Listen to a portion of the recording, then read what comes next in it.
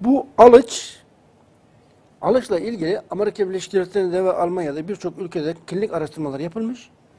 Alıcın damarlardaki plakları çözdüğü, kalbi güçlendiği, kalbe kan akışını arttırdığı klinik araştırmalarla belgelenmiştir. Alıcın birleşimindeki hiperizin burada mesela sadece Almanya'da 3664 hasta alışla tedavi edilmiştir.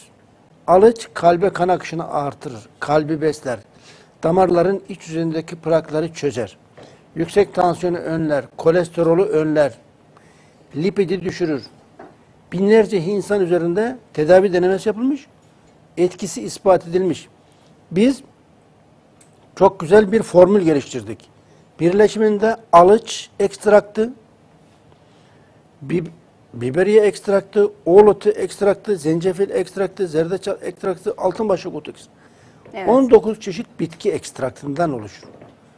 Şimdi bazıları alıç sirkesi yapıyor. Etkisi azdır. Neden az? Bazıları alıç şurubu yapıyor. Bazıları alıç suyu yapıyor. Alıcın birleşimindeki etken madde yüzde iki buçuk. Sirke yapabilirsiniz. Şurup yapabilirsiniz. Çay yapabilirsiniz. Etkisi yeterli değil. Çünkü etken madde nedir? Az. Bu nedenle destilasyonla elde edilen ekstraktının kullanılması gerek. Türkiye'de ekstraktan bitkisel gıda takviyesi üreten tek firma galiba biziz. evet, mükemmel bir ürün geliştirdik.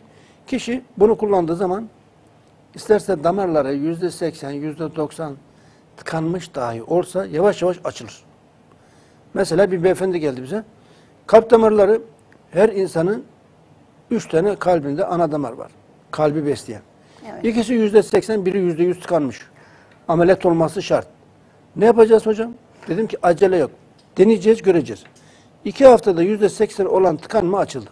Peki. İki hafta.